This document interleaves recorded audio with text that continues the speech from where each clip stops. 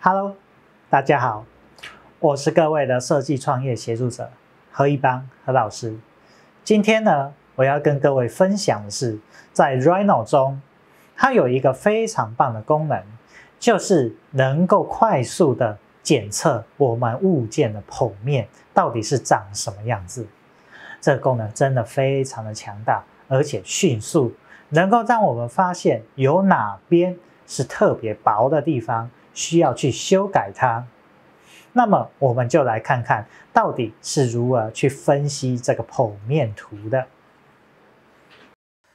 我们现在就以这一个心脏的坠子来当做案例，像一个个造型，它如果是实心的的时候会太重，所以我们通常就会给它做掏空这一个动作，但是要掏多薄？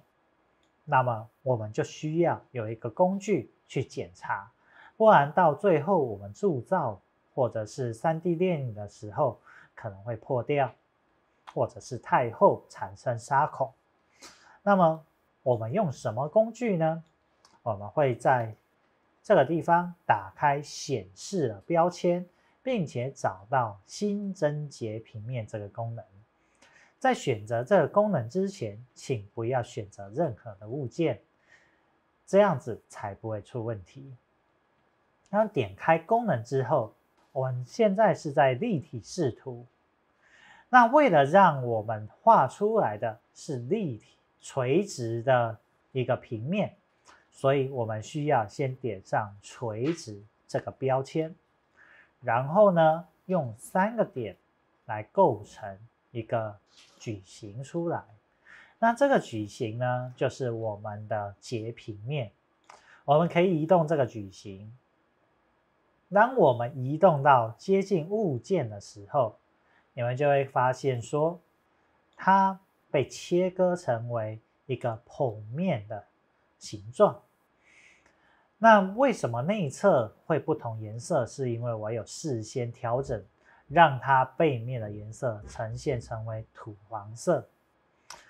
那如何去看出它到底多厚呢？因为这个地方我们并没有办法去测量两点之间的距离，那么我们就需要用另外一种叫做比例尺的方式。我们会事先这样子画一个圆球，那这个圆球是直径一公里。那我们就可以给它移到这个我们希望去测量的物件的附近，像这样子，我们就可以很明确的知道说这个大概是多少。那以这个圆球是一米米，那这个厚度呢，大概就是一点三米左右。我们会用这一种方式去检查哪边可能太厚。或者是太薄，那我们这个功能就讲到这边。关于今天的教学，各位有学到了吗？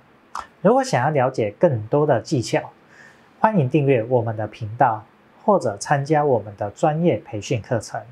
我们今天的影片就到这边结束，感谢各位的收看，我们下次再见，拜拜。